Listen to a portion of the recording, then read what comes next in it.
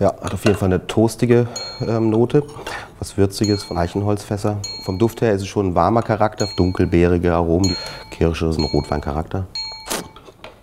Die Säure ist recht hoch. Würde ich hier auf einen Spätburgunder tippen.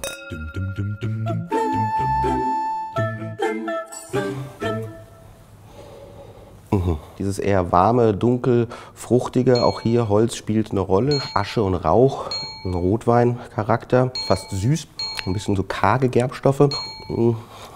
Das ist, ich muss gerade mal kurz probieren. Es sind verschiedene Rebsorten, eine deutsche rotwein in dem Fall. Ja. Hm. Das leicht vegetale, Kräuter, Gemüse, so Paprika. Hm.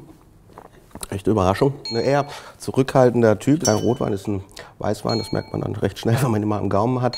So leid es mir tut, es könnte tatsächlich ein Weißburgunder sein, aber ich bin mir da jetzt nicht ganz sicher.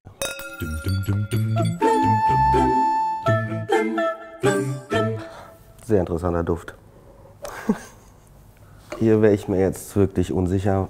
Böswillig könnte man auch sagen, das ist ein oxidierter Charakter, gereifter als es sein sollte. Ein Portwein, Tabak, dunkle Schokolade. Mm.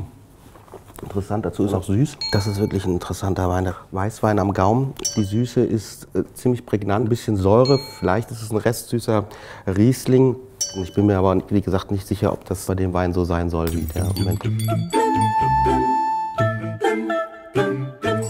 Jo, das ist natürlich wieder was ganz anderes. Jugendlich, ein bisschen Holz, aber wirklich ganz dezent, angenehm vegetalen Aromen. Ähm, Cuvée, dunkle Früchte mit dabei, da ist auch Kirsche, ein bisschen eingekocht an Wald und an Moos erinnert.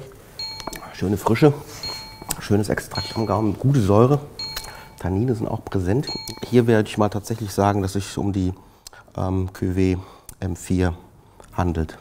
Dum, dum, dum,